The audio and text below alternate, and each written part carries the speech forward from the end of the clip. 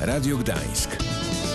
Słuchaj od rana. Drodzy Państwo, dzisiaj Skoda Superb w wersji kombi, w wersji z napędem 4x4, w wersji outdoor, w wersji na bezdroża. Myślałeś, myślałem że przez chwilę, że powiesz, że, że dzisiaj Skoda super, bo ona naprawdę jest super, zwłaszcza w stosunku do tych, którymi dotychczas jeździliśmy, a mieliśmy i Citigo, i Yeti, i Rapid, i Octavia, No prawda? tak, ale nie porównuj do tych modeli, bo to jest zupełnie inna jakość. To jest Bajka. auto komfortowe, to już jest e, model najwyższy, jeśli chodzi Choć o ja ciągle się zastanawiam, komfort. kto wybierze Superb, jeżeli może wybrać Octavię za około 20-30 Menadżer. tysięcy mniej.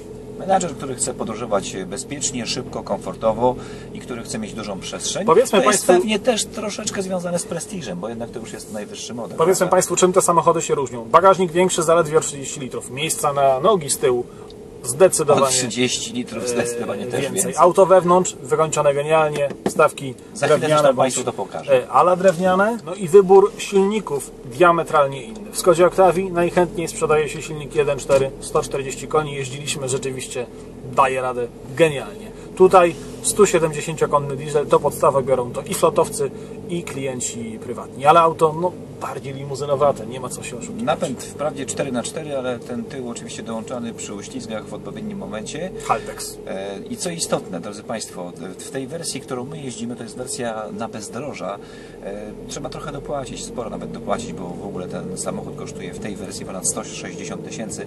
E, Co, co istotne na bezdroża, to, że jest podniesiony o 2 cm i że jest bardzo dobrze, najogólniej mówiąc, zabezpieczony od spodu. Tak? Czyli jeśli jeździmy w terenie, to nic nie grozi, chociażby uszkodzeniu silnika od spodu. Ale może ja skupię się na tym, co jest w środku, bo e, warto powiedzieć, że jest to samochód, który wygląda naprawdę bardzo elegancko.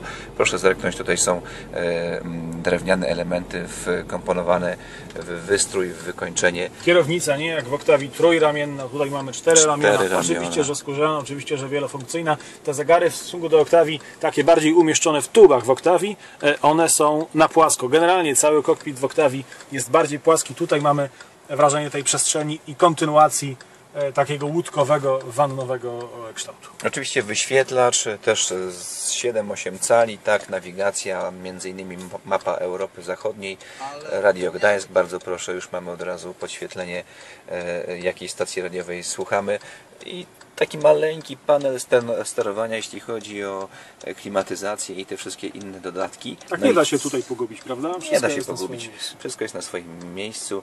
A co istotne, drodzy Państwo, to może ja fragmencik pokażę tutaj e, siedzenia. Ciekawe, czy się uda pokazać te perforacje tutaj w fotelu, bo co istotne, tak jak w przypadku wielu samochodów, e, fotele są podgrzewane, to w tym przypadku są wentylowane. Dwa stopnie wentylacji i to naprawdę daje bardzo przyjemne wrażenie komfortu, bo tutaj nie ma huraganu, nie ma wichury, ale delikatnie to powietrze się sączy. Może jesteś w stanie, będziesz w stanie pokazać w tylnym rzędzie siedzeń, mamy tutaj zegarek i też wskazania, jak się okazuje, temperatury zewnętrznej na tym tutaj panelu schowanym z tyłu. Właśnie zadziałał system start and stop. Ja zawsze się go obawiam, że zbyt wiele czasu płynie od momentu zwolnienia pedału hamulca do momentu, kiedy silnik ruszy, samochód ruszy, no ale tutaj się okazuje całkiem e, dobrze to wszystko wychodzi. Sprawdźmy odrobinę przyspieszenie.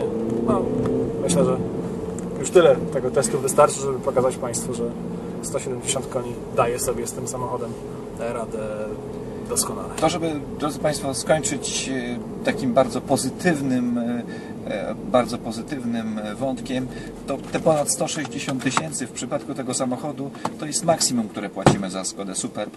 Jeśli Państwo są zainteresowani, od 80 tysięcy można już naprawdę e, poszukać e, tę wersję najprostszą. Tak, jeżeli komuś zależy na dodatkowej przestrzeni, na dodatkowym prestiżu, na dodatkowym wyciszeniu i jeszcze większym e, komforcie, to zdecydowanie e, wtedy A propos e, komfortu, Panie Sebastianie, to jak się zrelaksuje?